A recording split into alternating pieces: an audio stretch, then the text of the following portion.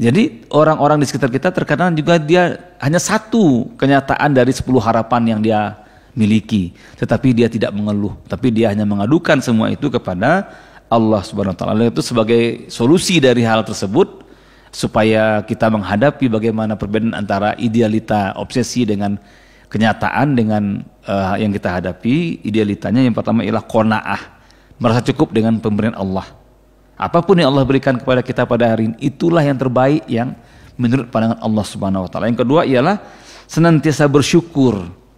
Dalam hal kehidupan di dunia ini, kita lihatlah orang-orang yang belum seberuntung kita kehidupannya.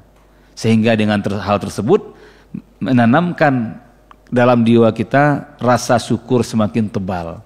Lihatlah orang-orang yang belum sebaik kita, belum seberuntung kita kehidupannya kita masih mending pakai mobil, saudara kita pakai motor. Kita masih mending pakai motor, saudara kita pakai sepeda. Masih mending kita pakai sepeda, saudara kita jalan kaki. Masih mending kita jalan kaki sementara saudara kita ada yang Allah uji dia dengan misalnya satu kakinya atau dua kakinya tidak berfungsi lagi untuk berjalan.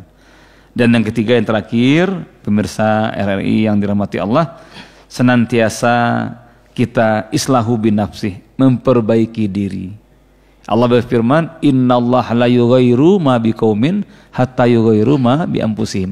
Allah tidak mengubah nasib suatu kaum apabila kecuali kaum tersebut mengubah apa-apa yang ada pada diri mereka masing-masing. Oleh karena itu mari kita robah diri kita menjadi yang lebih baik. Mudah-mudahan dengan kebaikan-kebaikan kita, dengan kita berusaha menjadi insan yang lebih baik hari demi hari sehingga idealita dengan realita, harapan dengan kenyataan tersebut tidak begitu jauh gapnya atau bisa jadi antara seluruh harapan kita semuanya dijadikan kenyataan oleh Allah Subhanahu wa taala.